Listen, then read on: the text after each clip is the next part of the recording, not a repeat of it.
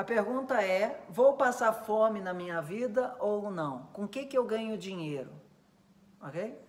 Então, Artabhavas. Certo? Na maior parte dos livros de Jyotisi, o que, que a gente vai ler? Que a casa 10 é a casa da profissão. Isso é mentira? Não chega a ser mentira. Ok? Mas a casa 10 é a casa do lugar aonde a gente gera um impacto significativo na nossa existência ou no mundo. E ela é a profissão, digamos assim, de pessoas que se destacam profissionalmente no mundo. Ok?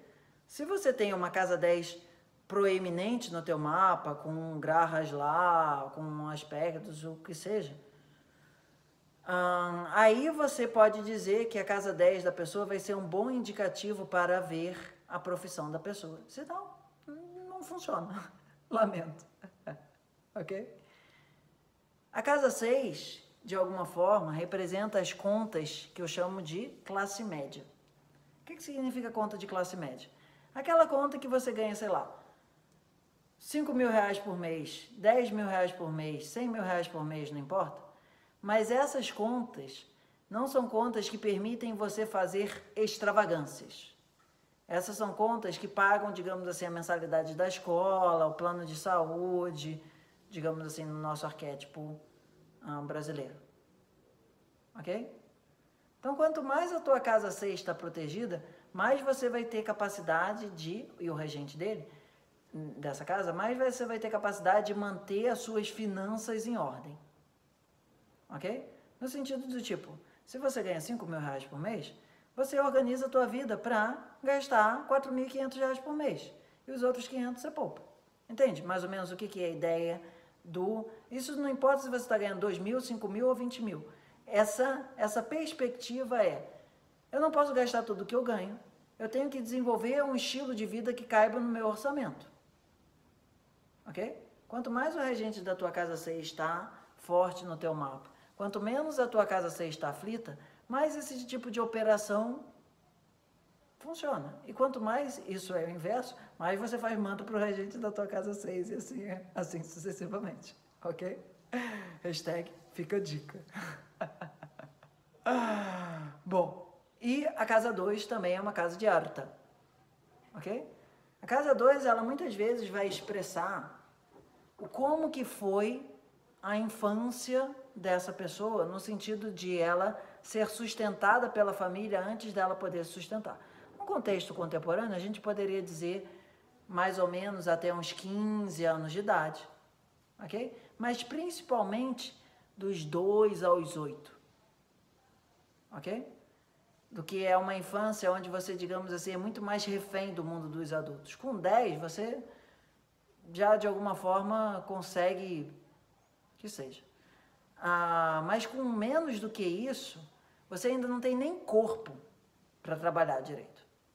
Ok?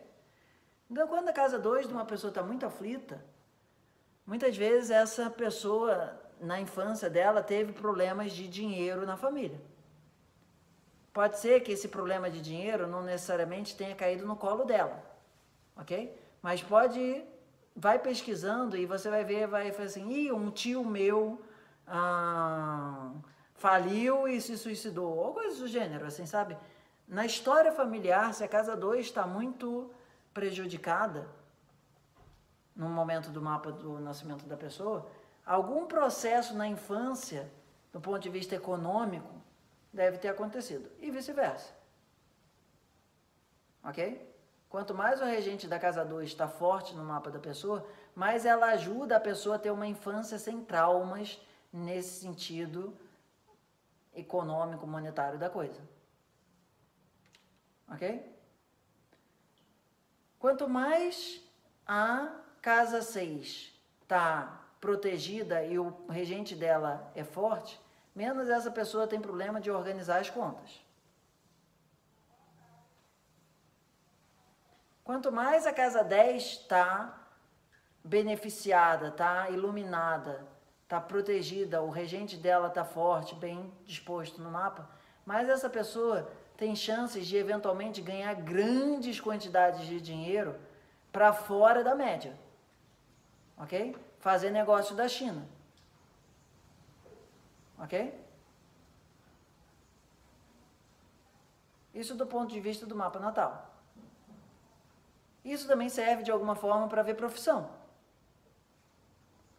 Quando o regente da casa 2 é muito forte, às vezes é melhor a gente seguir uma profissão. Suponha que você tem lá uma pessoa de ascendente mexa, ok? E na casa 2 está a Vrishaba e o Chandra está lá, junto do Shukra.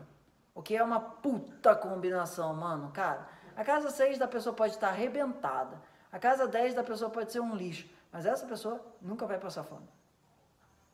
Porque com uma casa 2 dessa, essa pessoa ela pode ser cantora e uma hora ir à falência, outra hora ganhar milhões de Grammys, etc e tal. Mas essa pessoa nunca vai passar fome. Se essa pessoa passa fome, você desconfia que aquele não é o Lagna dela.